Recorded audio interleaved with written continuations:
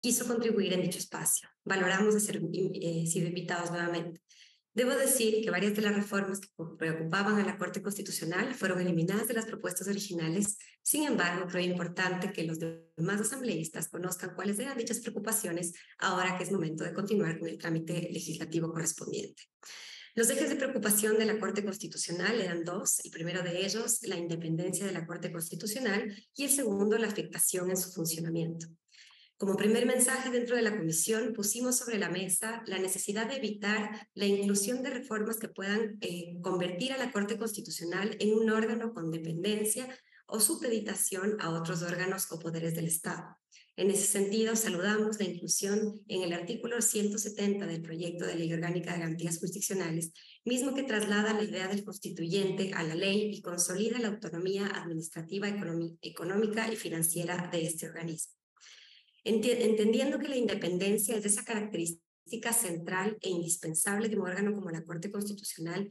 Debo resaltar lo valioso que resulta evitar todo tipo de reforma que permita la fiscalización no autorizada por la Constitución a los jueces de la Corte Constitucional, que amplíen irracionalmente las causales de recusación o conviertan la deliberación de los jueces en contiendas públicas, lo cual, además de volverlos en un blanco de eh, presión, atenta contra los derechos de quienes van en búsqueda de justicia ante la Corte Constitucional.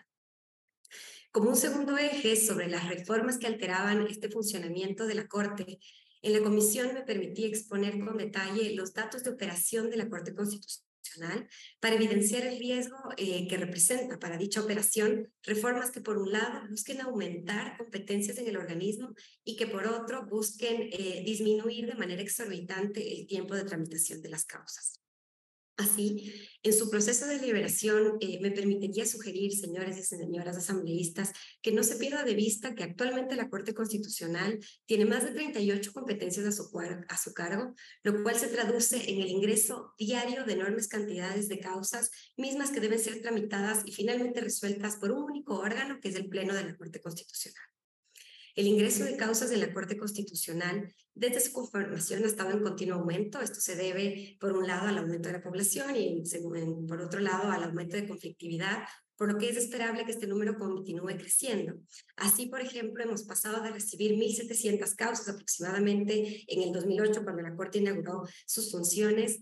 a recibir actualmente en el último año más de 10.200 eh, causas. Entonces, este incremento de las causas que se reciben eh, diariamente hace también que la operatividad de la Corte eh, sea bastante compleja.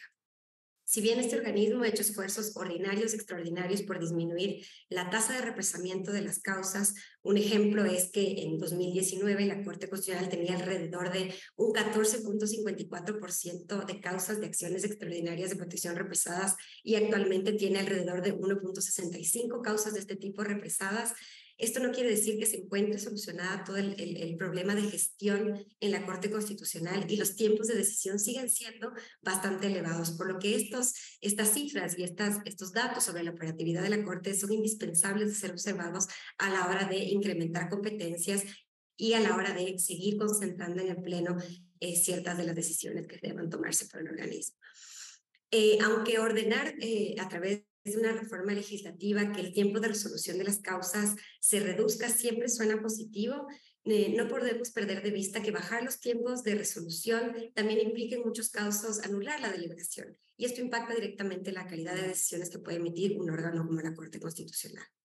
Vemos que el actual proyecto reconoce el proceso de deliberación de la Corte, eh, mismo, mismo que opera a partir de una metodología escrita por un lado y oral por otro lado, el mismo que tiene que ser preservado. Eh, las propuestas originales de reforma contenían eh, varios elementos encaminados a modificar los tiempos, por ejemplo, de duración de las salas, de admisión, de selección, de revisión, aumentar los, los procedimientos para, eh, por ejemplo, atender los requerimientos de las priorizaciones de causas, a concentrar en el Pleno la verificación del cumplimiento de las decisiones de la Corte, Y respecto de estas modificaciones y cualquier otra que, que, se puedan generar a partir del debate que se realice en la Asamblea Nacional, eh, creemos importante contar con el aporte de los técnicos de la Corte Constitucional en las mesas eh, técnicas de la, de la Asamblea para generar un diálogo fluido que pueda alcanzar el mejor diseño posible. Esto sin perjuicio de que la Corte Constitucional, por supuesto, debe reservarse la competencia de reglamentar estos, estos temas internos y de alguna manera organizar su gestión en la mejor medida posible.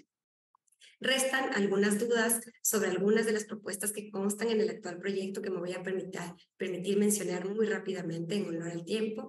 Eh, la primera de ellas es que observamos que se, se, se genera la obligación de que el presidente de la República remite en el tiempo de 24 horas todos los actos normativos y administrativos dictados eh, administrativos con efectos generales dictados con base en los estados de excepción. No queda claro si la remisión de todos estos actos normativos o administrativos con efectos generales en ese tiempo implica la obligación para que la Corte Constitucional se pronuncie de oficio sobre un control que podría ser automático. Esto, esto queda, queda en duda sobre la actual propuesta. Vemos también eh, que existe una iniciativa para que la consulta de norma, que es una acción que normalmente permitía que los jueces en el contexto del conocimiento de un caso puedan elevar ante la Corte una consulta sobre la constitucionalidad de una norma que debían aplicar en un determinado caso para resolver, se está ampliando en, la actual propuesta de reforma, inclusive permite, permitiendo que funcionarios públicos en el contexto del de, eh, análisis de quejas o de, eh,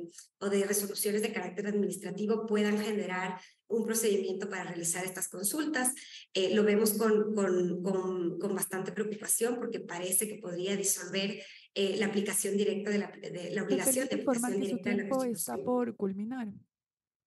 Eh, sí, finalmente eh, solo me resta decir que sobre la desnaturalización creemos que es importante seguir tomando en cuenta los criterios de la Corte Constitucional que se emiten en su jurisprudencia y además eh, tomar en cuenta aquellos criterios que delimitan la actuación de la Corte en acciones específicas como la acción de incumplimiento, la acción de data, pero todos ellos podrían ser trabajados en las mesas técnicas así los asambleístas lo requieren. Sin más, en honor al tiempo, me despido agradeciendo por la atención que me han prestado esta mañana.